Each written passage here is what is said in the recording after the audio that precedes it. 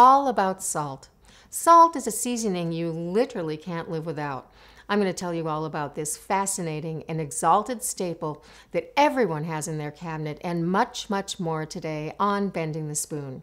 But before we get to that, I'd like to remind you that if you like recipes, go to BonicelliCookingClub.com and sign up for my email list and check out all of the options of participating in the club. And if you like what you hear today, hop over to Podchaser.com and leave Bending the Spoon a positive review. Also, for the video version of this podcast, subscribe to Bonicelli Cooking Club on YouTube. Now, let's talk about salt.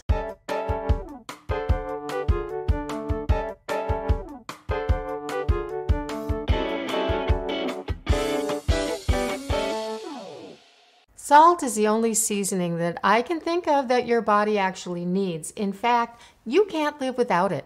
It has the power to manipulate flavor in such a unique way. It enhances flavor. The right amount is truly perfection. Now, if you search the internet, you'll find sources that recommend between 3,000 to 6,000 milligrams of salt, aka sodium, per day. But the USDA recommends a daily allowance of 2,400 milligrams per day. For reference, one teaspoon of salt is roughly 6,000 milligrams. So you're really allowed about a half a teaspoon of salt per day. Yikes, right? Many raw ingredients contain salt, like a cup of spinach has 27.3 milligrams of salt, a medium sized carrot, 42.1, even an apple has 1.8 8 milligrams of salt. So you can see it adds up really quickly. But let's talk about what salt actually is. Salt is actually a mineral, sodium chloride to be specific. It's essential to your bodies for maintaining blood pressure and carrying out many of our biological processes. Our bodies don't store it, we naturally crave it for just that reason. American food manufacturers figured out years ago that adding huge amounts of salt to processed and fast foods would make people crave more food so they could sell more product. This is how powerful salt is. We use salt in so many ways. It is a great preservative. It melts snow and ice. It enhances, brings out the flavor of food, as I said. So salt stands alone. It is not a spice, but often referred to as a seasoning. Now, the term season with salt is so often used because it has the power to manipulate flavor. The right amount of salt sprinkled in just the right amount can, completely change a dish. Its purpose is not to make your food salty, its purpose is to amplify the flavor of whatever you put it on. I want you to try this at home. Take a piece of chocolate or even a few chocolate chips, eat that. Good, right? Chocolate is good. Now, sprinkle another piece of chocolate or your chips with a little bit of sea salt. Now, taste that. Once your taste buds detect the salt, that chocolate gets really chocolatey. As far as where salt comes from, all salt comes from oceans or seas. Sea salt is whatever is left when sea water evaporates. Rock salt is mined underground from ancient seas. Salt comes in many different forms, and most chefs and cooks are very, very particular about what they use. The saltiness in a teaspoon of one salt, say kosher salt, versus a teaspoon of another salt, say coarse sea salt, can vary greatly because of the size of the grain. So your teaspoon of kosher salt may be two or even three times saltier than a coarser grain salt. This even applies to just kosher salt. There are two brands of kosher salt only on the market these days Morton and Diamond Crystal. Morton kosher salt has very small crystals and is very dense, while Diamond Crystal has larger hollow flakes. So a teaspoon of Morton kosher salt is nearly twice as salty as Diamond Crystal kosher salt. I use Diamond Crystal, that's my base salt in the kitchen. It dissolves really nicely. I use it in baking and cooking, and I use it as my default salt unless something else is specified in a recipe. I like the fact that it is less salty because the one thing I'm very sure of is you can always add salt, but you can't take it away. Beyond kosher salt is my base salt. There are, just like in olive oils, finishing salts. They have larger crystals and don't dissolve as readily as kosher or fine sea salt. The size of the salt crystal is determined by how the salt is processed, sometimes and generally by some sort of evaporation. Taking, for example, Maldon sea salt. Maldon sea salt is harvested and processed in the English town of Maldon in Essex, England. There's a link in the show notes to buy Maldon sea salt and Diamond Crystal kosher salt. Maldon sea salt is my favorite. I have it on hand always. It's my finishing salt and sits on the table every day. Beyond white sea salt, like my kosher salt and Maldon salt, there are naturally colored salts. Their color and taste reflect their distinctive place of origin. We'll talk more about that in a minute, but right now it's time for our featured ingredient. This week's featured ingredient, no, it's not salt. It's its friendly counterpart, pepper. Peppercorns, along with salt, are the most used spice in the world. Black, white, red, and green peppercorns are all fruits of a climbing green evergreen vine, and there are two main varieties hailing from India's Malabar coast. Tellicherry, and Malabar. The variety in color and flavor comes from being harvested at different times and handled in different ways. Pink peppercorns are not true peppercorns, they are the fruit of a Brazilian pepper tree. Black peppercorns, considered a staple in most cooking, with the Tellicherry being considered the best. White pepper, often maligned and considered weak, properly processed white peppercorns impart a delicate heat and earthy quality to dishes. Red peppercorns.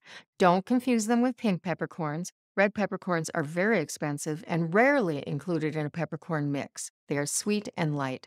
Green peppercorns. Sometimes sold in brine, green peppercorns carry no heat but impart an herby flavor. They can be included whole in dishes because they break down easily. It's best to buy peppercorns whole from a reputable dealer and grind them yourself as needed because ground peppercorns lose their freshness quickly. So buy in small quantities, use as needed, store in a cool, dry place away from light in an airtight container. Getting into finishing salts in an obsessive way is pretty easy to do. I have a whole drawer dedicated just to salt. I'll chat through some of my favorites. Gray sea salt is so gorgeous. The one I have in my drawer right now is from French Brittany, which is well known for its gray salt. It's hand harvested and contains some natural iodine. Now, you're probably familiar with pink Himalayan sea salt. It has become very popular and is readily available. It's mined in the foothills of the Himalayan mountains. There's also another pink salt from Peru, which is harder to come by. Himalayan salt is mined in blocks, and they even sell the blocks. You've probably seen them in stores for cooking on. They're recommended for everything from meats to vegetables and fish. The blocks impart the minerals from the salt as you're cooking on them. The darker the color of the salt, the more minerals it contains. It has this wonderful sweet quality. Because of the high mineral content, it's also considered to be very beneficial for health. Now, another favorite of mine is Hawaiian Alaea salt. Alaea is a volcanic clay filled with 80 kinds of minerals. It has a high iron content, and you can really taste the clay. It's almost earthy. Well, it is earthy in the quality. It's wonderful for finishing fish and a great addition to marinades.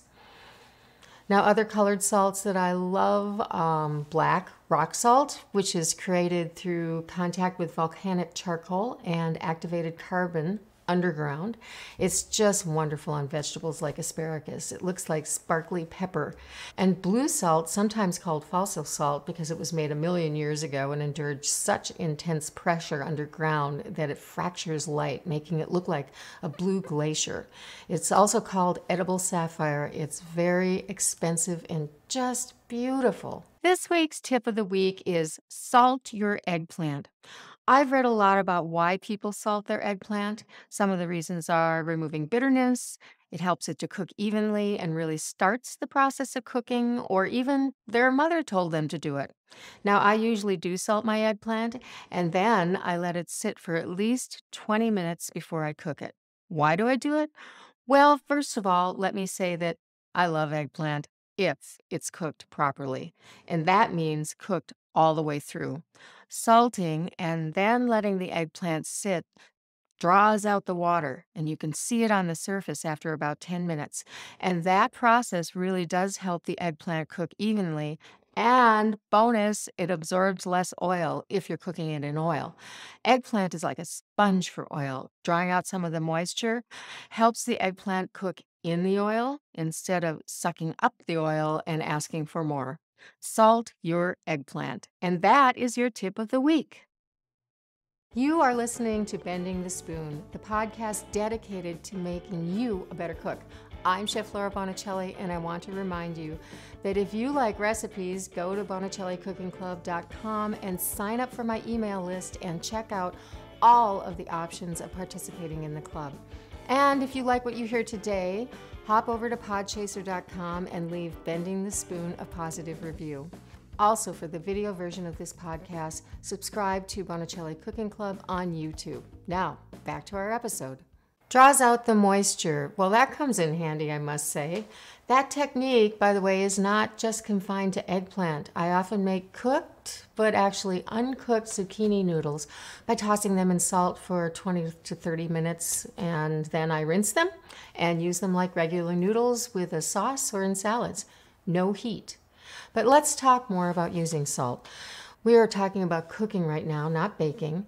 The most important thing to remember is that less is more. You can always add salt, but you can't take it away. Once you put the kosher salt in the sauce, it's in the sauce. I think that seasoning with layers it makes a lot of sense. So let's say I'm making a basic tomato marinara sauce. I have my mirepoix, or in Italian, my soffritto, sauteing, and I may sprinkle a little salt in to the mirepoix just to bring up the flavor a little bit. Then I'll add my tomatoes, which, if they're fresh, I will probably add a little salt at that point too. But if they're canned tomatoes, uh, they may have added salt, so I'll, I'll probably hold off. Always tasting to see where I'm at. And at that point, there are other things that are going to go in, like herbs and pepper I know that the sauce is going to change dramatically while it's simmering over the next hour, so I let it simmer for that hour and then I taste it again. Then I may decide to simmer it a little longer and add a little more salt, or I may think it's perfect and done. I promise I'll taste it again before I serve it, and it's quite likely that I'll put a sprinkle of finishing sea salt on each serving to give it that little zing of flavor enhancement and a little crunch. I always take into account the fact that I may add finishing salt when I'm done, so I take that into account while I'm cooking the sauce so I don't end up with it oversalted.